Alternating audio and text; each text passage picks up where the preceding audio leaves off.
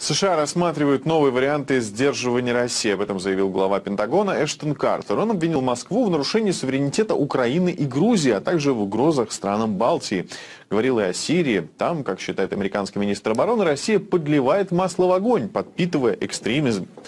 В чем именно это заключается, Картер пояснять не стал. А, кроме того, Вашингтон обеспокоен, цитирую, бряцанием ядерным оружием со стороны России. При этом он отметил, что США не хотят видеть Москву своим врагом.